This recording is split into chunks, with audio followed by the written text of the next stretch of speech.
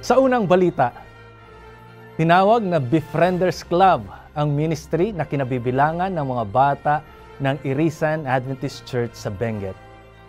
Layunin nila na sa munti nilang pakikipagkaibigan ay maisulong ang Adventist Christian lifestyle at ipakilala si Kristo sa mga tao. At nito lang nakarang linggo ay dinalaw nila ang mga lolo at lola sa Rippling River Nursing Home kung saan hatid nila ang prutas, awit at kalinga. Si AJ Riliera ang magbabalita. Dahil wala po kaming klase ngayong January 27, nandito po kami sa Rippling River Nursing Home upang mag-share po ng blessing sa mga lola at lola na naririto.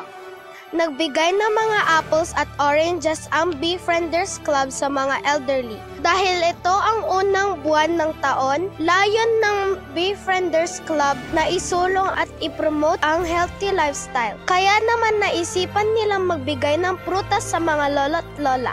Nag-alay din ang Befrienders Club ng mga masasayang awitin para sa mga elderly.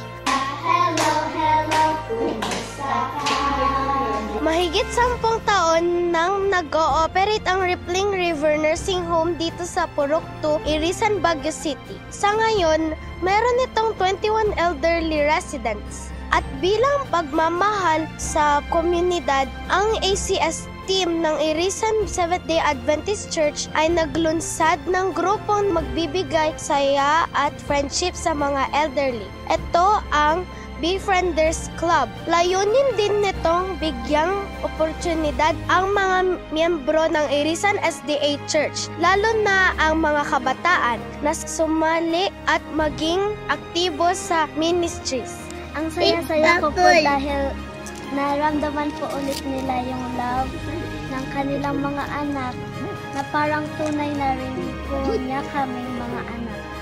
Naramdaman ko rin po kung gaano sila kasaya.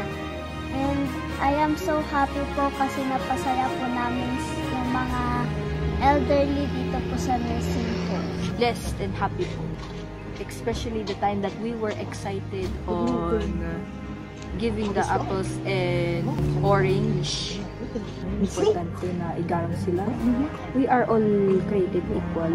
Sa alos lahat po ng mga lululas natin may pinagdadaanan. So, in their life, they should also deserve also a good moment.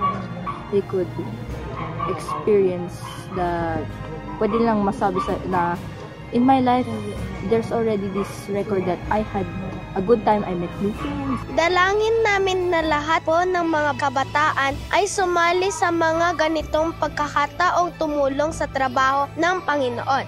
Ako po si Almia J. Giliera para sa Hope Today.